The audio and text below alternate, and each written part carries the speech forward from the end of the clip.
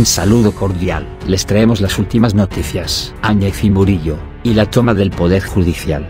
Undena juez magistrado cómplice de Murillo, que posibilitó que sea ministro de gobierno.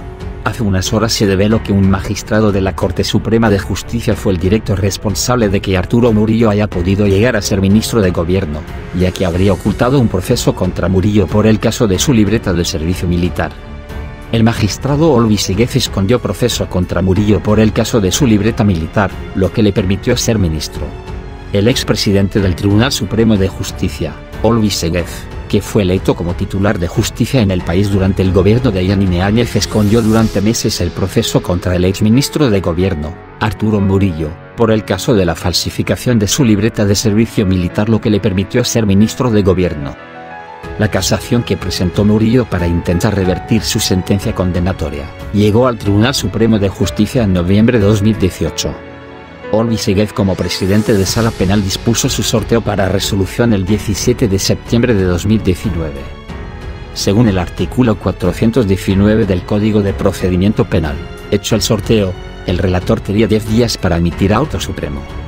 Sin embargo, el magistrado relator del recurso de Arturo Murillo, Seguez Oliva, nunca resolvió el recurso, incumpliendo sus 10 días de ley, y después de nueve meses dejó la sala penal para hacerse elegir presidente del Tribunal Supremo de Justicia el 23 de junio de 2020 y se fue de dicho cargo, sin resolver el caso de Murillo. Este hecho es catalogado penalmente como incumplimiento de deberes, retardación maliciosa de justicia y otros delito 100% comprobable y verificable con una simple verificación de los libros, registros y sistema informático de la Sala Penal del Tribunal Supremo de Justicia.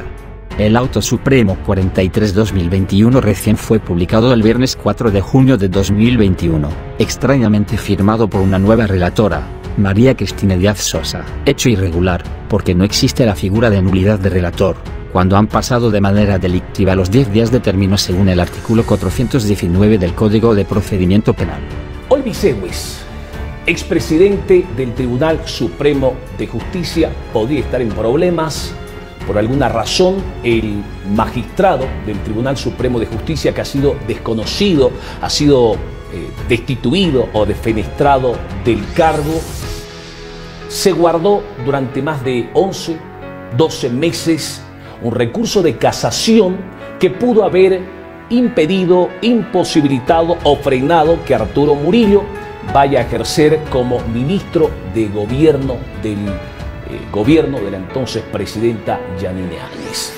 Por alguna razón y de manera coincidente, se podría decir, eh, Olvi recibe el recurso que tenía que resolver de acuerdo al Código de Procedimiento Penal en 10 días después de haber sorteado la causa para su resolución.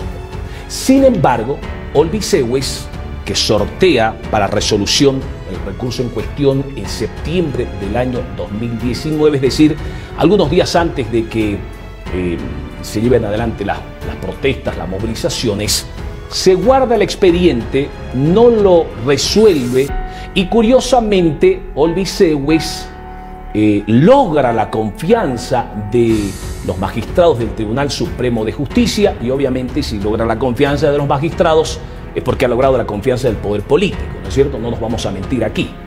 Eh, es electo Olvi Sewis presidente del Tribunal Supremo de Justicia durante el gobierno de Yanine Áñez, es... Eh, le dan la confianza para que vaya a llevar adelante las riendas del Poder Judicial y de allí en adelante Luis Egues no resuelve el recurso de casación que se presentó contra Arturo Murillo por el caso de la falsificación de su libreta de servicio militar. Recién, en junio del 2021, es decir, estamos hablando de hace algunas semanas atrás, también eh, llevando adelante una serie de normativas contradictorias con el Código de Procedimiento Penal, se cambia de relator cuando la norma no lo prevé y sucede que ahora aparece firmando el recurso de casación en contra de Arturo Murillo la magistrada María Cristina Díaz. Es decir, hay una serie de anomalías, hay una serie de irregularidades, hay una serie de cuestionamientos respecto a por qué el magistrado Olvis Ewis no solamente que cumplió o incumplió sus deberes, sino que ha incurrido en el delito de retardación de justicia, favoreciendo al entonces exministro de gobierno, don Arturo Murillo. Creo que es un tema que hay que hacer eh, seguimiento, porque en el país hemos visto que aquellos que no tienen la libreta de servicio militar no tienen acceso a espacios públicos, ni siquiera puede ser un funcionario público. Todos aquellos que quieren ser eh, candidatos a, a gobernador, a diputados, alcaldes, concejales, tienen que presentar como requisito la libreta de servicio militar y ese tema preocupa. Y peor todavía cuando hay autoridades judiciales eh, los benefician, ¿no? Entonces tiene que investigar y si hay sanciones, pues también se lo sancionará. En ese momento no podemos afirmar absolutamente nada, ¿no? Eh, hay que dejar que, se investigue este, este hecho, ¿no? Y dejemos. Eh, si hay un informe que nos señale de que ha sido favorecido por este, por este señor a ciertas personas, pues tendrá su sanción y en ese momento nosotros ratificaremos. Estamos con el desarrollo de las eh, informaciones contables que sentencian a dos años de cárcel al senador opositor Arturo Murillo por uso de instrumentos falsificados, cuestionando su libreta de servicio militar, misma que presentó como requisito al cargo. En comunicado oficial de la Fiscalía General del Estado se conoció que el Tribunal Quinto de Sentencia de la Ciudad de La Paz falló en contra de Arturo Murillo para que cumpla dos años de reclusión por el delito de uso de instrumento falsificado. Los ministerios de Defensa y de Transparencia Institucional, además del Ministerio Público, fueron los que iniciaron el proceso ante la documentación de su libreta de servicio militar presentada por el actual senador opositor. En este sentido, la bancada de Unidad Nacional ya hizo conocer en comunicado oficial que acudirán a estrados internacionales, pues este sería un abuso de poder, siendo que el sindicato habría presentado todos los descargos y este es un intento de acallarlo en sus denuncias. Sobre este mismo tema, Samuel Doria Medina anuncia que apelará y acudirá a instancias internacionales para poder determinar la, la, situación judicial por la que atraviesa el senador Arturo Murillo por el uso de instrumento falsificado luego de que la jueza del Tribunal Quinto de Sentencias del Distrito Judicial de La Paz, Nancy Bustillos, condenara a dos años de cárcel al senador Arturo Murillo de Unidad Demócrata por el caso de la libreta de servicio militar falsificada que usó para acceder a cargos públicos, el líder de esta tienda política calificó como una estrategia política la determinación judicial. Pero no nos van a callar, vamos a denunciar eh, ante tribunales internacionales este ataque y vemos cómo el gobierno de Bolivia está tomando el modelo del gobierno venezolano. Que asuma en calidad de presidente del órgano judicial. Nosotros eh, conocemos perfectamente las dificultades que se están atravesando en todas las instituciones públicas y particularmente en el órgano judicial.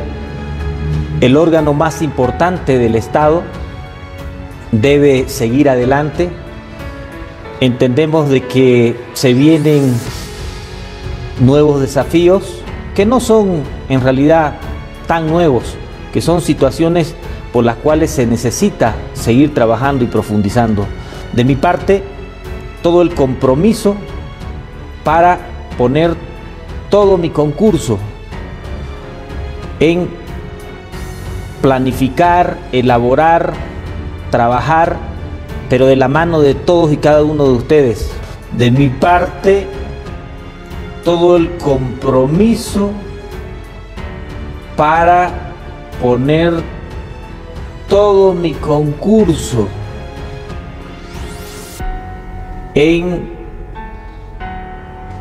planificar, elaborar, trabajar pero de la mano de todos y cada uno de ustedes. Suscríbete a mi canal para recibir más videos.